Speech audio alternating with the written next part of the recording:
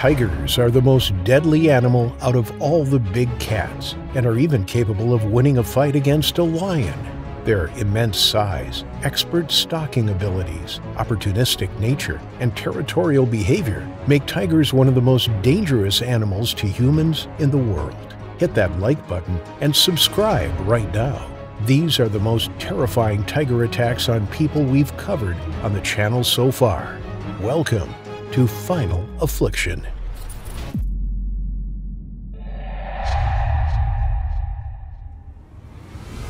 The Siberian tiger, sometimes referred to as the Amur tiger, is one of the most majestic animals on Earth and is the largest of all big cats.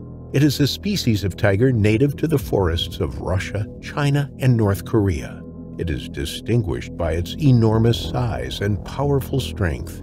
To put it into perspective, some males weigh up to 660 pounds, equivalent to the weight of a large motorcycle. In addition to their massive size and strength, Siberian tigers have an incredible bite force comparable to that of a hydraulic press or a large crocodile. It is estimated that their bite force is around 1,000 pounds per square inch, strong enough to crush bones and kill large prey, like elk, with a single bite. A human's bite force is only around 160 pounds per square inch. Consequently, the Siberian tiger has one of the strongest bites of any land mammal, helping them become one of the most feared predators in the wild. If that's not enough, Siberian tigers are also powerful swimmers and are not averse to entering the water to hunt or escape danger. While these creatures are highly reclusive, they are at the absolute top of the food chain Needless to say, they are incredibly dangerous to humans, especially if threatened or provoked. However, because these creatures are now considered endangered, conservation and protection efforts have been made throughout the years, including keeping tigers in zoos. Unfortunately, Siberian tigers have large home ranges, and being kept in a zoo may decrease the tiger's well-being, making them more agitated. Some people prod tease, or otherwise provoke the animals in the zoo, hoping to invoke an exciting reaction from the animal, which creates a dangerous situation. This was the case with Carlos Sousa Jr. and his friends on that fateful Christmas day in 2007. It was June 25, 2003. The Denver Zoo was home to a small population of Siberian tigers. These magnificent creatures were part of a carefully managed breeding program that aimed to conserve and increase the genetic diversity of the species. In a large enclosure, a female Siberian tiger was born. The zookeepers and caretakers named it Tatiana. Born in captivity, Tatiana was not really an aggressive tiger and had no problems with people. On December 16, 2005, she was taken and permanently moved to the San Francisco Zoo to mate with a 14-year-old Siberian tiger named Tony. Everything was well until December 22, 2006, when Tatiana attacked her veteran zookeeper, Lori Komejan. In trying to feed her, Lori violated safety protocols and entered the tiger's enclosure alone without proper notification to other staff members. As Lori approached, Tatiana attacked her by biting and clawing at her, seriously injuring Lori's head, neck, and upper body. Hearing Lori's screams, the other staff members rushed to the scene to help. Thankfully, they were able to safely remove Lori from the enclosure and call for medical assistance. Unfortunately, this wasn't the last time Tatiana would make headlines. Was December 25, 2007. Carlos Sousa Jr. and his friends, brothers Amritpal and Kulbir Dhaliwal, arrived at the San Francisco Zoo, excited to see the animals up close.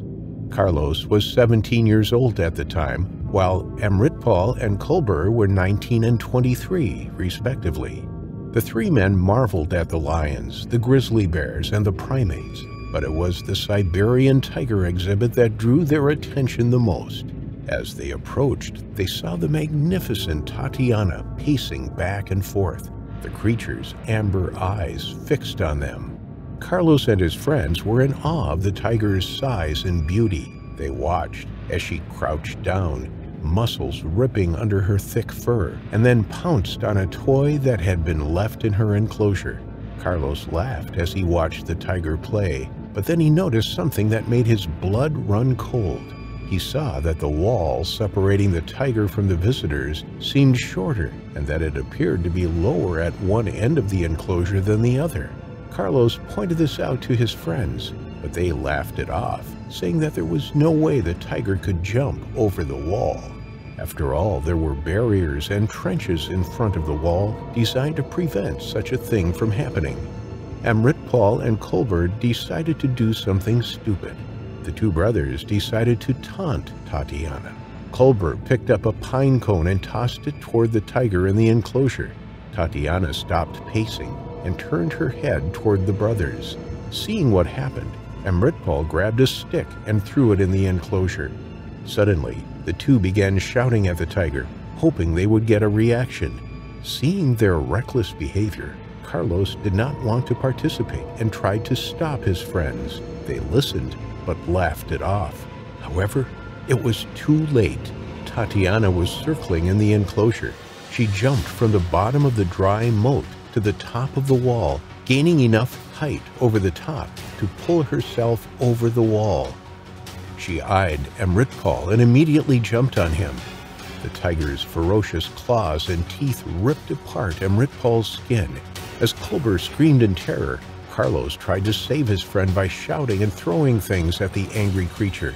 He then tried pulling at Red Paul, but this only provoked Tatiana even more. Tatiana focused on Carlos and decided to pounce on him, quickly knocking the 17-year-old to the ground. The tiger then decided to pull him away from the group, mauling him and biting him in the head and torso. Meanwhile, Amritpal and Kulbir ran for their lives toward the Zoo Cafe 300 yards away. However, since it was already closing time, the cafe was locked. Although the two brothers screamed for their lives, the cafe employees did not think much of it, suspecting that the screaming person was mentally ill and there was no actual animal attack. Eventually, Tatiana arrived at the vicinity and began attacking Kulbir. Finally, the cafe employee called 911, prompting emergency services and armed authorities to respond. I don't know if they're on but they're screaming about an animal that had um, attacked them, but there's no animal out. He's talking about a third person, and I don't see a third person. Is he saying that he was bitten? Yeah, he's saying that it's adult now. He's, you know, we don't know if he's all. Is he saying, is, he, is the patient saying that he was bitten by an animal? He's saying that it's been by an animal, but uh, there's no animal escape because he could just be crazy. Okay. Four police officers were dispatched to the area, and the entire zoo was locked down to prevent Tatiana from escaping. What the officers saw, however, was a gruesome sight. It was Tatiana biting down on Kulbir while Amritpal was on the ground, bleeding and screaming for help. The officers pointed their guns at the creature, but they hesitated for fear of hitting Kulbir. One of the officers created a distraction, forcing Tatiana to focus on them. As Tatiana angrily turned her attention to the noise, the officers shot her in the forehead, effectively killing the magnificent beast. When the paramedics scoured the scene, they found Carlos dead near the tiger enclosure.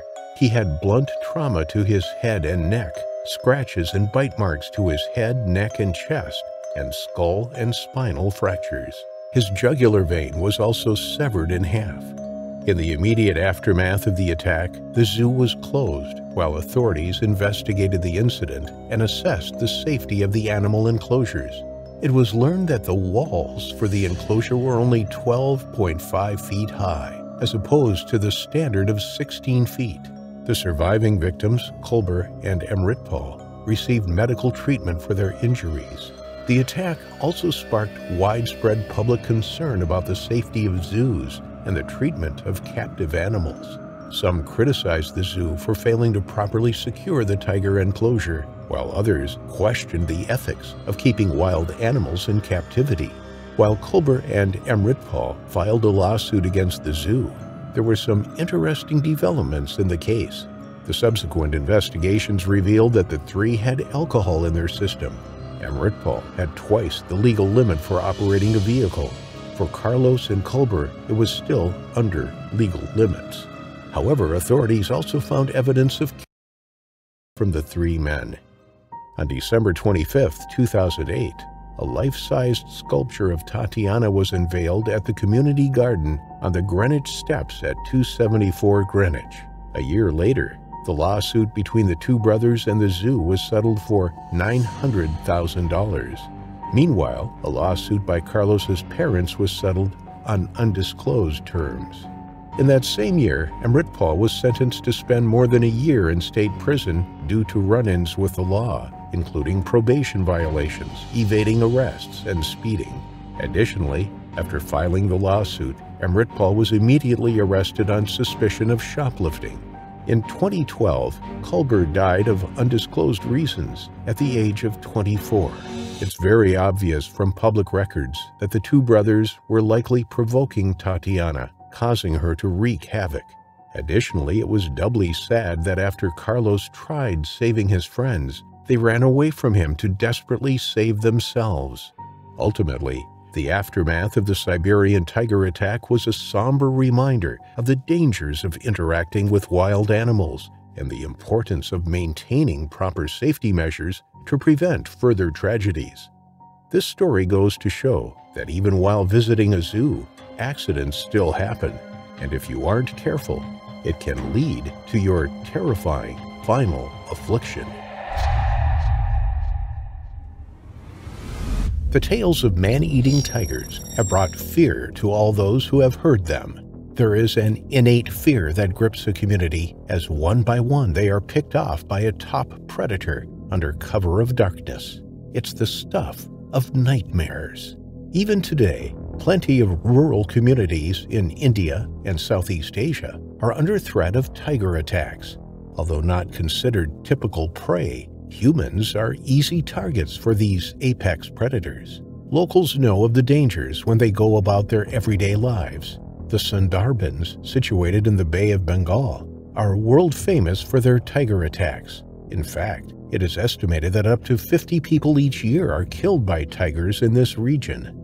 As fishermen venture further into the mangrove swamps, they are often plucked from their boats by the elusive beasts, never to be seen again. But these two new incidents in today's episode have happened further north. In April 2023, two tiger attacks shook local communities in northwestern India. The two attacks occurred within days of each other, sparking fears that a new man-eater was on the prowl. The deaths of the two men sent locals into a panic, and families feared for their loved ones working in the open fields surrounding their villages. The reaction was strong. The threat of further attacks was very real, and so local government imposed curfews and shut down schools. Tigers have been known to be some of the deadliest killers on Earth, with some of these man-eaters reaching death counts into the hundreds. The first victim was a 72-year-old called Birendra Singh. He left his home on April 13, 2023, never to be seen alive again. His destination was the farmland surrounding his home. His fields were close to the Corbett Tiger Reserve, the first national park to be established in India. It is thought to be home to more than 250 Bengal tigers. Over the years, some of these tigers have escaped into surrounding farmland. With little wildlife to feast upon, they turn to other forms of prey. Villagers had seen tigers moving amongst the shadows in recent days. They had caught glimpses of their telltale stripes between the trees, the movement of the long grass as the animals slunk away, the ravaged corpses of livestock pulled into the undergrowth. In the previous week alone, six cattle had been killed and eaten by a tiger. The people knew they were in danger. As dusk was settling in, Birendra was out in his fields harvesting his wheat crop. He had worked his entire life to provide for his family. He knew his fields like the back of his hand.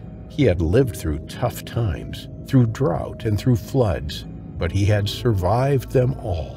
As he toiled the land, something lurked in the bushes, a predator that had been drawn to the open fields and the hunting opportunities there. Cattle were easy prey. so were people. At 6 p.m., the tiger ran from the undergrowth. It leapt on top of the unsuspecting Birendra. He was instantly floored, and the wind knocked from his lungs as he grappled with the enormous cat. It delivered its fatal bite moments later. The 72 year old was dead. He hadn't stood a chance. He had died alone and at work. Nobody heard his cries. Nobody came to his rescue. The tiger dragged his limp body into the surrounding woodland to eat at its leisure. Villagers grew worried when Birendra didn't return home that evening. Armed with burning torches, they began to search the farmland. They knew something must have happened to him. He never stayed out past daylight hours. It was too dangerous. After searching for two hours, they found a disturbed patch of earth, the trail of flattened vegetation that led into the bushes. Lowering their burning branches to the ground, the flames illuminated the remains of Birendra. By the flickering light, they could see that his head had been partially eaten. His injuries were reminiscent of a tiger attack. The man's death sent shockwaves through the local community, but that wasn't to be the end of it. There was more to come. Just three days later, another attack occurred in a neighboring village also in close proximity to the Corbett Tiger Reserve. Ranveer Singh Negi hadn't been answering his phone calls. His family grew worried about the 75 year old's whereabouts. He lived alone at his home in Simli village in the Kalagarh Forest Division. When he didn't respond for two days, his family called villagers to check on him. Dutifully, they inspected his property. Ranveer was nowhere to be seen. But then they spotted something that made them freeze in their tracks. There was a trail of blood just yards from his house. The villagers followed the trail until it led them to some bushes 160 yards away. Carefully, they pulled back the branches and peered inside. There, lying on the ground, was the severely mauled body of Ranveer. Almost half of his entire body had been eaten. It was clear that it had been a tiger attack, a silent, deadly predator was lurking amongst them, one which could take a man without anyone knowing about it, killing a person with one fatal bite to the neck. There were no screams. Nobody had heard a commotion, and yet the 75-year-old had been taken just yards from his home. With the fear that a man-eater was on the loose, officials started to take action. People were advised not to enter the woodland or go out alone the local district magistrate imposed a strict curfew on 25 villages in the area. Nobody was allowed out of their homes between 7 p.m. and 6 a.m. every day, the 11 hours of darkness during which tigers are most likely to hunt. But people still had work to do. They still needed to venture into the forest to find fodder for their livestock. Without it, their animals would die. Without them, so would they the Animal Husbandry Department began leaving animal fodder on people's doorsteps to prevent the need for them to forage in the surrounding woodland. It isn't the first time a tiger has escaped from the reserve.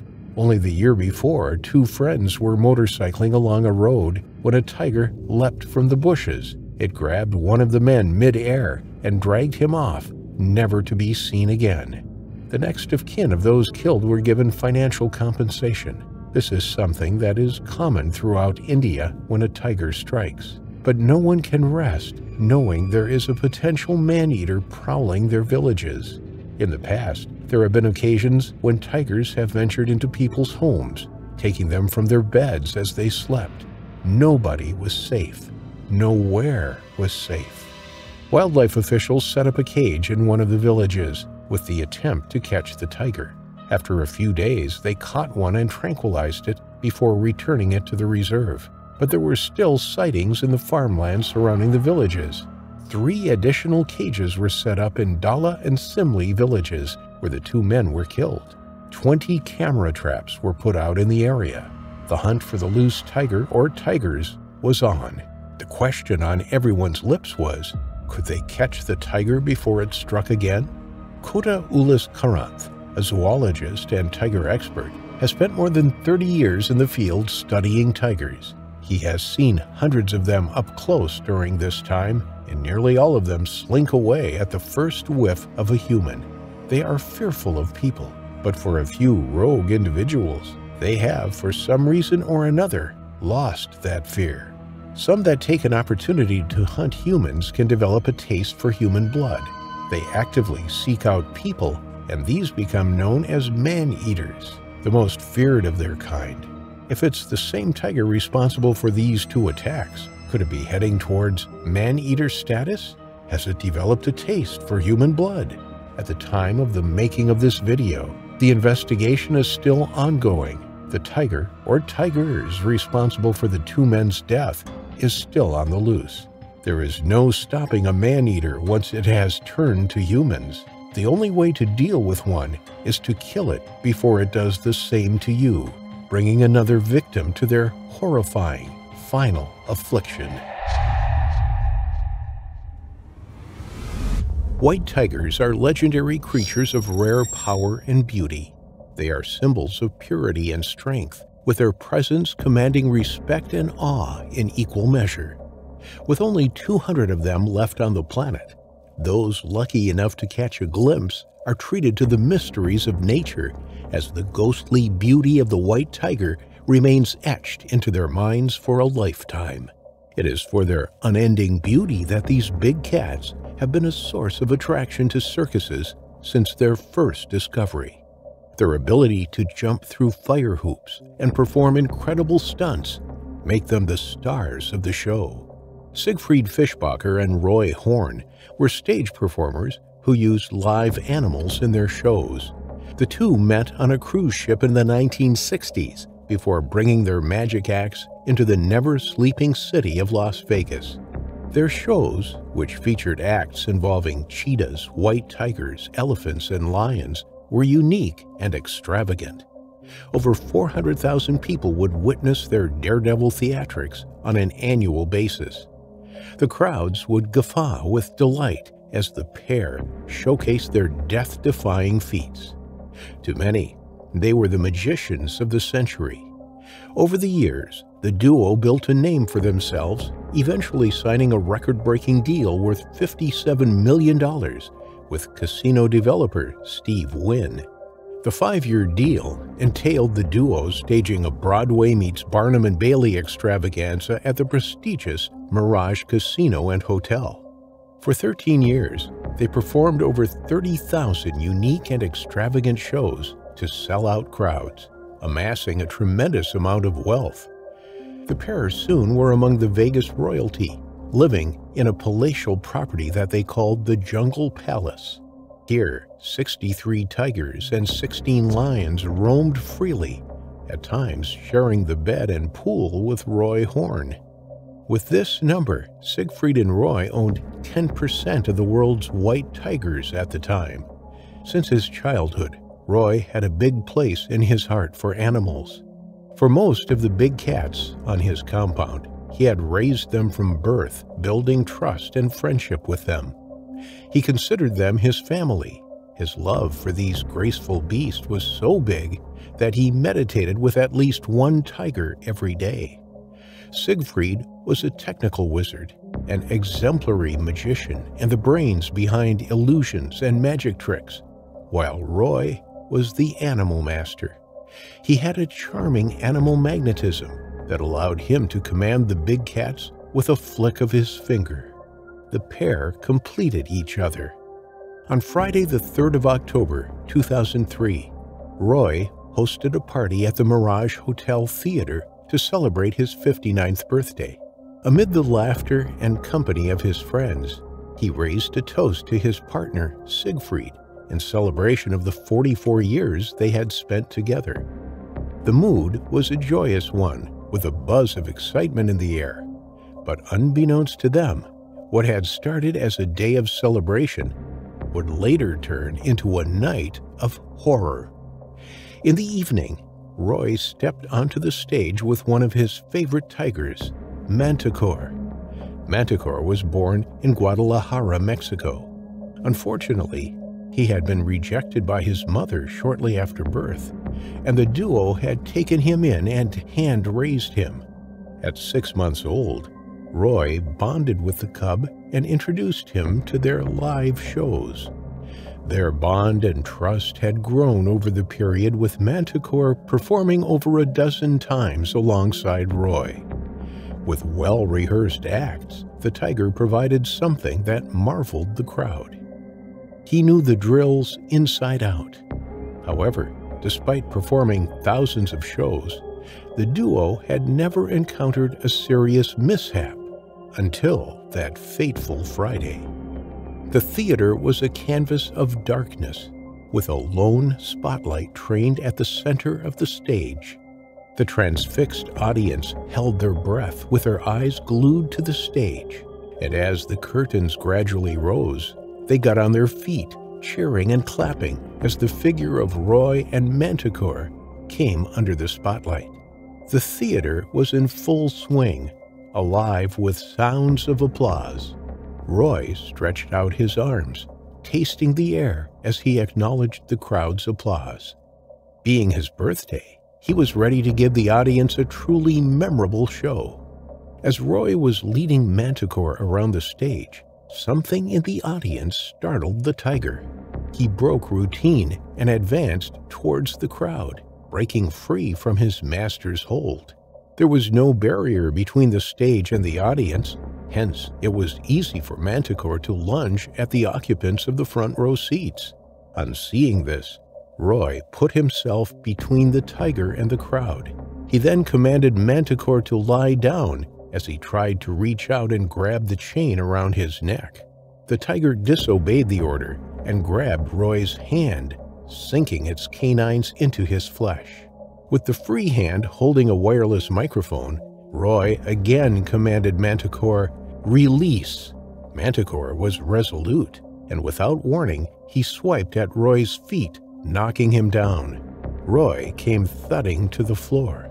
With a painful groan, he tried to get back to his feet, but before he could, the 400-pound manticore pounced on him, pinning him down with its declawed paws.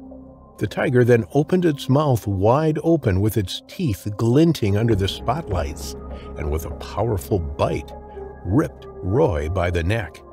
To some of the audience, this was part of the act. But in reality, the bite had severed Roy's jugular vein, barely missing the carotid artery.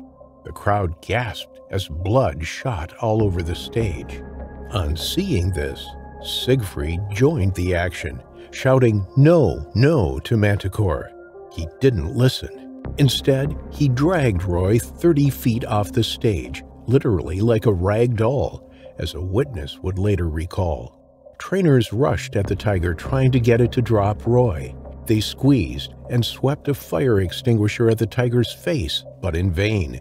They then beat its head using the butt of the fire extinguisher, and eventually, Manticore dropped Roy as he retreated to his cage. The mood in the fully packed theater changed. The commotion had stirred a number of people in the crowd. Backstage, Roy lay motionless in a pool of blood, by the time the emergency medical officers arrived, his state was critical. He had lost almost two-thirds of his blood. In the ambulance, the medical team managed to stop the bleeding as Roy murmured, do not shoot the cat, before going to slumber. At the University Medical Center, he was quickly rushed to surgery. In addition to tearing his jugular, the tiger had also crushed Roy's windpipe and sliced his vertebrae. Roy suffered a stroke, and the surgeons had to remove a quarter of his skull in order to reduce swelling on his brain.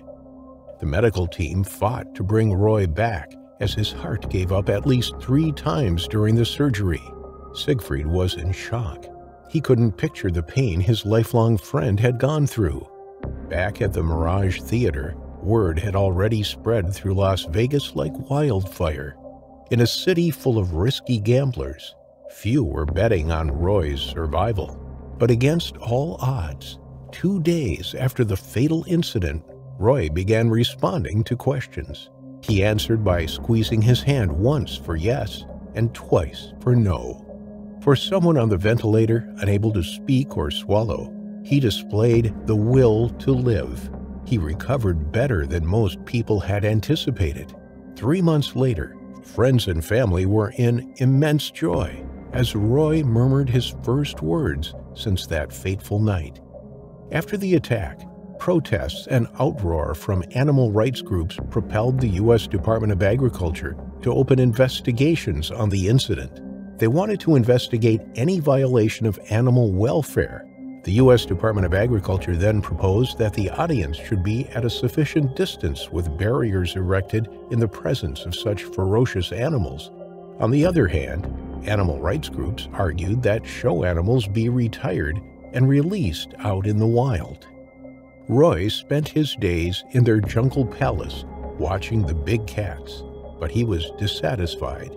He wanted to end the Las Vegas extravaganza on a high note, and so, six years after the incident, the duo made a miraculous return to the stage for one last act. Old and not as physically fit as before, the show didn't have the same energy and thrill, but it was still a fitting end to the duo's tremendous career. As for Mantacore, he spent the rest of his days at the Jungle Palace until 2013, when he died from an illness. The German duo was deeply devastated despite their close encounter with their final affliction. Around the turn of the 20th century, in the Kanchanpur district of western Nepal, a young man set out from his village into the jungle, armed with a decrepit old muzzle loader, while towing a goat. He had built a tiger hunting stand, where he tied the goat to an earthed pen and mounted it onto a tree, lying in wait for the majestic Bengal tiger. Hours elapsed, and by the time the sun was setting over the horizon, his initial excitement of hunting a tiger had turned to boredom and irritation. Dusk was fast approaching, but still the scrawny goat stood tethered and untouched. He began to doubt if the tiger would show up at all. But then it happened. The tiger gracefully appeared with a force unlike any he had ever seen. It attacked the goat with appalling power, which was a big contrast to its beauty. It was as if the dappled patterns of the forest floor themselves had come alive and possessed it. The goat had no time to neither cry nor move. One moment it was alive, and the next it was gone. The young man's mission was suddenly called to question. To him, the notion of shooting the tiger felt impossibly bold. It was as if he was assassinating a king and not just a mere animal. He noted how massive it was in size, with its eyes more similar to his than any other creature he had ever encountered. He watched as two cubs playfully appeared from behind the trees looking for their mother. This only soured his conviction further, but he had to make a decision to shoot or not to shoot. With the tigress in his sight, he took one deep breath and then pulled the trigger. The tigress dropped the goat and dashed back into the forest with the taste of its own blood filling her mouth. The cubs hesitated for a moment before obediently following her. The bullet had broken the tigress's upper and lower canine on the right side of its mouth. However, in pulling the trigger, the young man had unknowingly created a monster. In 1903, the indigenous Tharu woodcutters, herders, and farmers harvesting grass for their livestock started disappearing. They would venture into the vast Nepalese jungle and vanish without a trace the Bengal tigress had begun its revenge without warning. Soon enough, it went on a hunting spree, bringing entire villages of western Nepal to their knees. It attacked with stunning speeds, snapping necks with its powerful jaws as its razor-sharp claws pinned down and shredded the victim's flesh. What began as rustling in the tall grass or a whisper of padded feet would end with an explosion of primal savagery that would be over in seconds. From men and women to even children, the soon-to-be famous beast made the locals prisoners in their own homes. Normally, Bengal tigers don't kill or eat humans.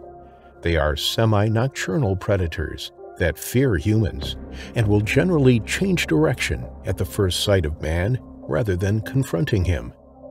However, this lone tigress had developed a rather startling behavior, of not only losing its inborn fear of man, but also hunting him.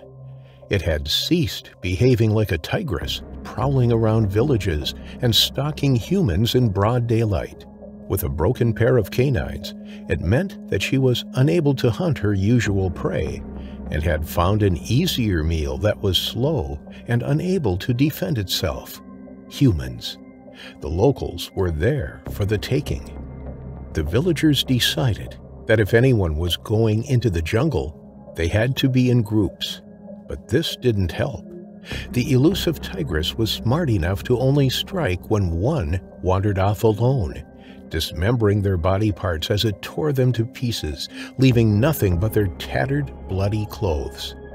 The attacks became so frequent that the locals thought there was more than one tigress attacking them. Soon enough, the beast had racked up an insane number of victims, nearing 200 people. This birthed its name, Champawat, which translates to the destroyer of man. The best hunters among the villagers organized hunting parties to kill the man-eater, but she was a professional in hiding and staying clear of their traps and paths. She was much more cunning and intelligent than any tigress they had ever hunted. With the rising death toll, the Nepalese government intervened and sent in the army. The soldiers made several attempts to corner and capture or kill the tigress, but were also unsuccessful. However, before they could declare their mission failed, they had one last trick up their sleeves. They gathered a massive hunting party consisting of hunters mounted on elephants, local volunteers, and the soldiers themselves, and together formed a vast line, which they were to use and drive the devil of Champawat out of its hideout. The line then pushed through the jungle using the ancient Nepalese ring hunt method and slowly closed in on the tigress like a massive pincer. The tigress was overwhelmed by the collective thunder of a hundred rifles firing, thousands of men screaming, and dozens of elephants blasting their trumpets into the air. With its last hope of survival being to run in the opposite direction, it dashed into the Sharda River and crossed over, seeking refuge in the neighboring country, India.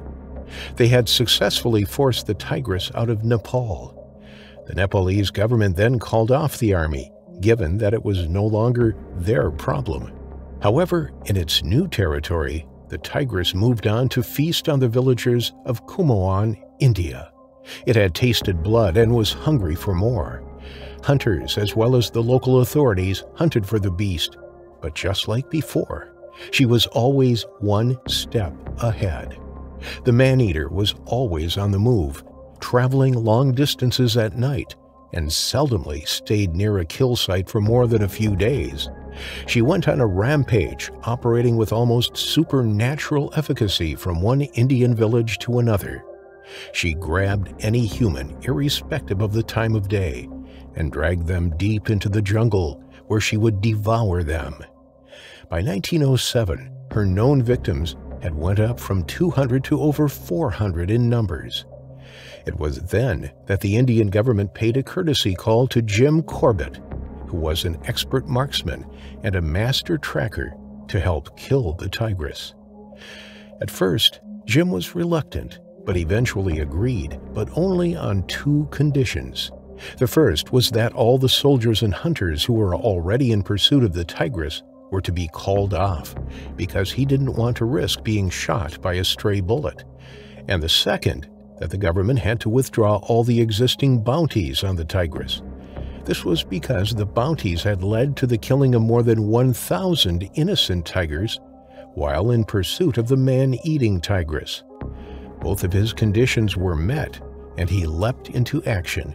He recruited six other Kumaoni men for the hunt, and they set out for Pali just as news arrived that the tigress had struck again. Traveling light and moving fast, the men marched on foot, passing over hills and valleys, with none having an idea of the horrors that awaited them on the other side. On the 3rd of May 1907, the men entered the village of Pali, but they felt as though they were in a ghost town. The central courtyard was bare, and the stone huts were silent. It was like an abandoned village. not a soul outside. Something terrible had happened here. For five days, the villagers had not gone beyond their own doorsteps and were in a state of abject terror. In the next three days, Jim and his men patrolled the dense forest near Pali, but when the tigress failed to show up, they concluded that it must have shifted its hunting ground to the nearby village, Champawat. Early the next morning, they set out toward the village. They arrived just immediately after it had dragged a 16-year-old girl collecting firewood into the forest. The men followed the blood trail leading into a ravine they found bone splinters, a human leg still trickling warm blood, and her skirt along the trail of carnage. The irrefutable evidence of horror was saddening and sickening, and the Champawat tiger was nowhere to be seen. The next day, with the help of the local volunteers who flashed out the tigress, Jim Corbett fired three shots from his double-barrel black powder rifle, bringing the tigress's seven years of terror to an end. He had accomplished that which was deemed all but impossible. The tigress was paraded in the surrounding villages, and they couldn't help but notice how smaller and less imposing it was now than when alive. Celebrations followed and went deep into the night with the sound of jubilant songs filling the air.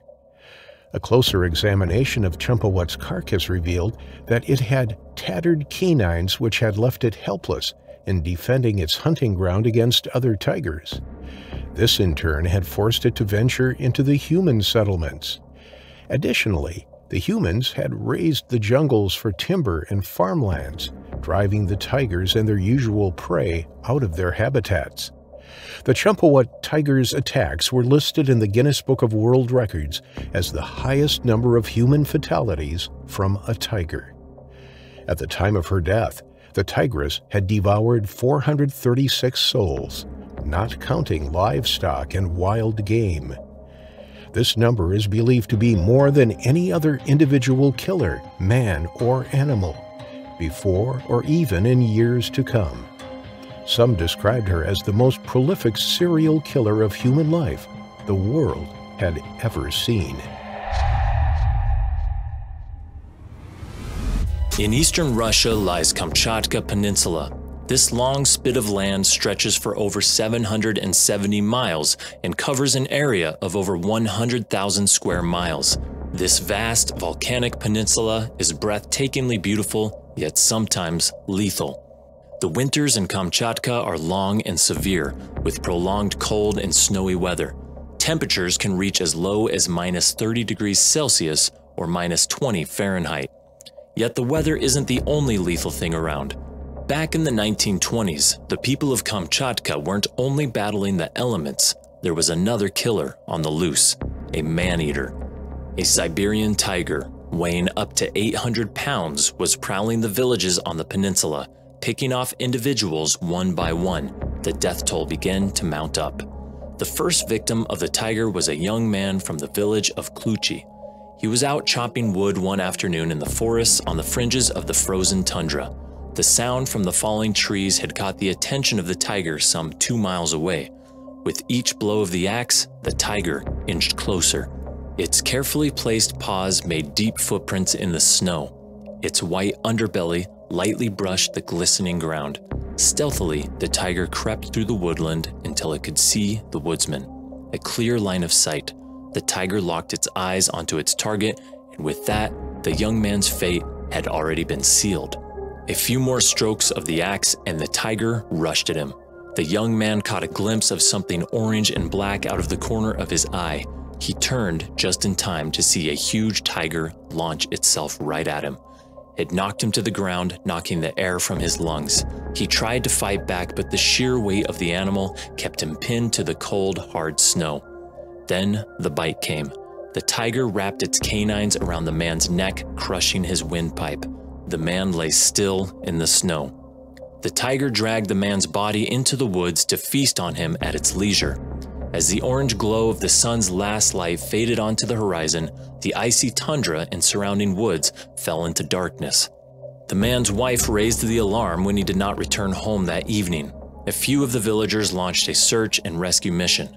Anyone left out after dark was unlikely to survive the night during Siberia's harsh winters. They walked straight to the site where the young man had been chopping wood. There was no sign of him, but his axe lay on the ground next to a pile of wood. Looking closer by torchlight, they spotted a trail, a trail of blood. It was leading into the woods. Cautiously, they followed it. Less than 200 yards into the trees, they found their fallen comrade. It was clear that he had been attacked and killed by a tiger. This was just the beginning. Over the next few months, three villages along the Kamchatka Peninsula were subjected to multiple tiger attacks.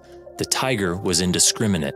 Villagers, young and old, were found savagely mauled yards from their houses. People went out to work in the fields, never to be seen again. That terrifying first winter lasted from October 1923 until April 1924 and claimed more than 15 lives. As spring sprung and the fields of snow and ice melted, more and more bodies were discovered.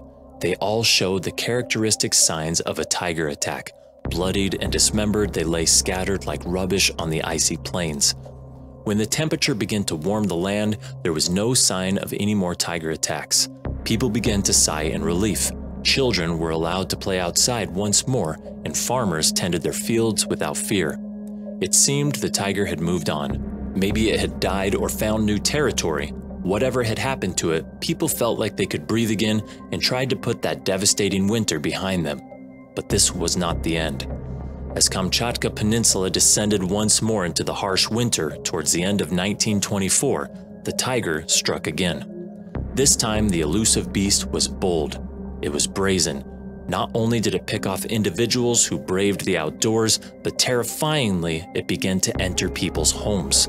Like the devil himself, the tiger plucked people from their beds as they lay sleeping. In the dead of night, screams were heard throughout the village as time and time again the tiger feasted. No one was safe. The communities plagued by death of loved ones called on the army to help.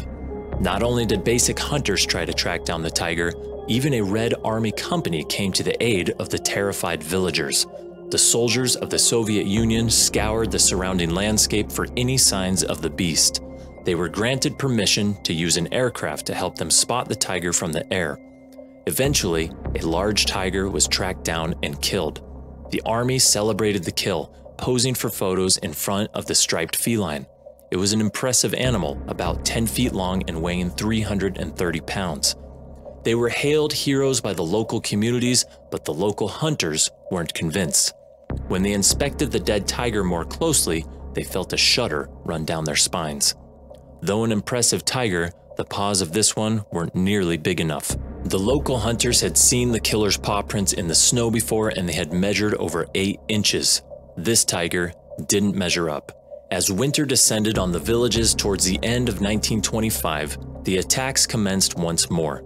The villagers had been lulled into a false sense of security. The soldiers had given them hope, and now those hopes were dashed. They began to feel like this nightmare would never end. They began to feel that the tiger really was the devil. It evaded capture for the rest of the winter season, taking yet more innocent lives. The villagers grew weary. The only evidence left by the tiger apart from the trail of corpses was its footprints. Aside from being enormous, possibly belonging to one of the largest tigers ever to have lived, the footprints gave more information about the great animal. One of its four paw prints was less indented than the others, suggesting that the foot bore less weight. It was assumed that the animal had an injury and walked with an unusual gait. This could have explained the attacks. A predator that is less able to hunt its typical prey looks elsewhere. The villagers of Kamchatka Peninsula were easy targets. Lighter, slower, and less defensive than caribou, humans were there for the taking. After yet another wearisome winter, the tiger suddenly seemed to have vanished. Spring returned and the people cautiously went about their everyday business.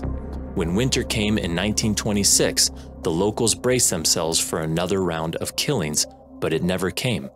For three consecutive winters, the tiger had devoured the Russian people. Over 100 people were killed in 1923, 24, and 25. The remains of most were found days or even weeks later, but some simply vanished without a trace. Since then, and with generations gone by, people still talk of the winters when the devil came to town. No one knows what happened to the tiger. Perhaps it went off to find new hunting grounds. This seems unlikely though, as an apex predator with little to fear, a large territory with bountiful prey, it would be foolish to leave. Perhaps the tiger died, or perhaps it really was the devil, and the devil eventually returned to the fiery depths of hell after sending over 100 innocent people to their unfortunate final affliction. The tiger weighs over 500 pounds and can grow to be 3 meters or 10 feet long from nose to tail. With sharp canine teeth over 3 inches long, it can tear apart entire limbs in a single bite. The Siberian tiger is known to possess a particularly vengeful and begrudging attitude towards anyone that dares cross its path, man or beast. With a cunning mind to match, it can remember encounters for weeks and plan elaborate plots to follow and hunt its prey. Once a near extinct species, the predator also known as the Amur tiger had come back to life through conservation efforts and repopulated the province of Primoria near the world's largest undammed river, the Amur River. For decades, the tiger sat comfortably at the top of the food chain, feeding on moose, elk, and wild boar. That was until humans started populating the region, trying to scrape out a living in the dense taiga forests after the fall of the Soviet Union. Poachers realized the potential of this area, despite the fact that they had to settle among some of the most dangerous predators in the world.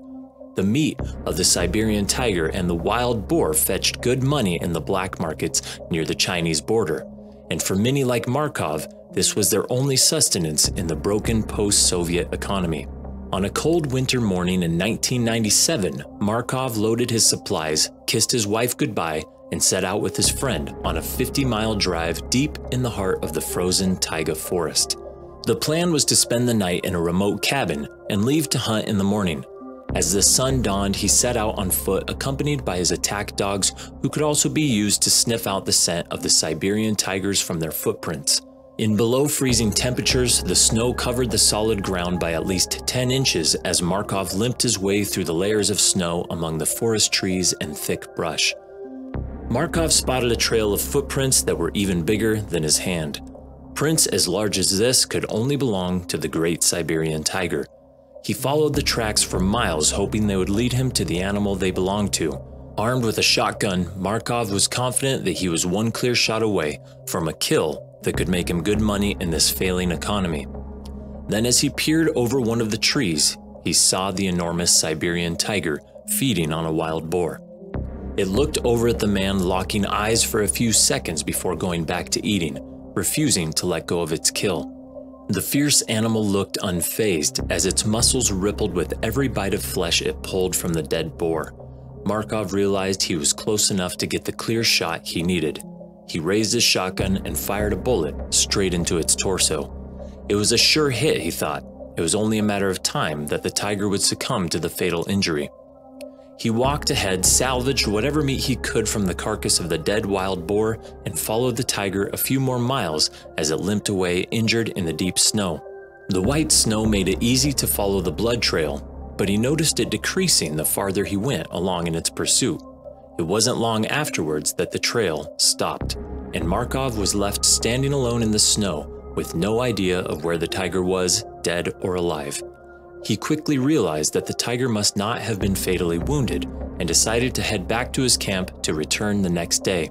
He stored one piece of the boar meat just outside of his camp and left for town to see what he could trade for the other one. But while Markov was away, the wounded tiger had followed the scent of the man to the cabin and smelled its boar hunt stored outside in the wellhead. In frustration, the tiger reclaimed his kill and destroyed the wellhead in the process. It then camped outside near the cabin, awaiting the man's return. When Markov got back to the cabin, he noticed his dogs barking loudly and incessantly, trying to signal to him that something wasn't right. He peered through the window and saw the tiger at a distance. He called his dogs back into the cabin. If the injured tiger had still not left after reclaiming its boar meat, he was after more than just the boar meat. Markov realized that the animal had come for vengeance and he could not afford to let it live once it had smelled his scent. He set up his gun through a shooting port in the wall and opened fired, wounding the tiger twice now from the same gun. It disappeared into the forest, still able to carry itself despite being shot several times. Markov decided to go to his friend Duncha's cabin not far away and drive away to safety with him in his car. His friend urged him to stay the night at his place because the car's radiator fluid had to be drained every night to keep it running, and they couldn't leave right away. Markov was now visibly frustrated and decided to make his way back to his cabin and deal with the problem the only way a poacher knows by shooting the tiger until dead. Little did he know, in his absence, the tiger had torn down his cabin's front door and had made its way inside, chewing and clawing at anything that had Markov's scent on it. It shred to pieces clothing, mattresses, and tools that he had used, and then found a well hidden spot outside the trail to lie in wait for Markov's return. It was dark, and Markov was just making his way to the entrance of the cabin when he was ambushed by the tiger. Caught unarmed, he soon found himself at the mercy of the vengeful Siberian tiger, and after their last two encounters, there wasn't much mercy left. Several hours later, investigators discovered a chilling scene outside of the camp, one that captured the grueling nature of the attack and the terrified helplessness of Markov in his final moments before being devoured. The snow around the scene had melted and flattened from the wrestling and wriggling that Markov must have tried while being eaten alive. There wasn't much to call Markov's body anyway. A few bones here, a pool of blood, red snow there. Some of his clothes were found several feet away. His shoes still carried his severed feet. His sleeves still held his detached arms. The tiger was momentarily pacified after tearing apart its hunter and headed downstream. Word had now gotten out of the man eating Siberian tiger, and terrified poachers and settlers evacuated the taiga forest to escape the same fate as Markov. The only one still in the area was 25 year old Andrei Pochepnya. He was a trapper who had set up traps in the forest to catch animals for their fur. Andrei's parents urged him not to leave the house to check his traps until the tiger had been found, but he did not heed any advice to stay inside and set out in the forest. In Andrei's absence, the tiger had found his cabin and thrashed it just like it did to Markov's cabin. The Siberian tiger seemed to want to follow and tear to pieces anything that smelled remotely human. Upon his return, he was ambushed by the tiger near a neighbor's cabin, nestled behind a mattress as if it had been lying in wait for him all along. There was not much fight or resistance. Andre attempted to pull his shotgun from his shoulder and take aim, but the bullet refused to fire. In the harsh Russian winters, older guns were known to have ammunition failures from a frozen cartridge. His shotgun failed at the last moment he would have wanted it to. Andre was now easy pickings for the Siberian tiger, as it jumped on top of him, leaving him little chance for a fight. Young Andre's father called for a search and rescue mission to find his son, and they did. But all that was now left of Andre was a few bloodied clothes and a chard of the cross. The tiger had been feeding on him for over three days when the search team discovered him, and there was little of Andrew they could salvage from the site to return to his father. At the time, Project Tiger was a Western funded animal conservation group operating in the taiga forest, trying to stop illegal hunters and poachers from driving the Siberian tiger to the brink of extinction. The head tracker for the mission, Yuri Trush, found himself in an ironic predicament.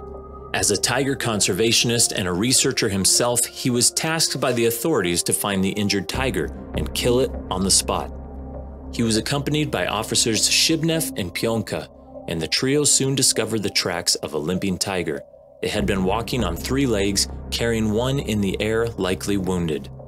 The tracks led them to a remote area near the cabin of a man named Shlemenko. The party now knew the tiger was nearby.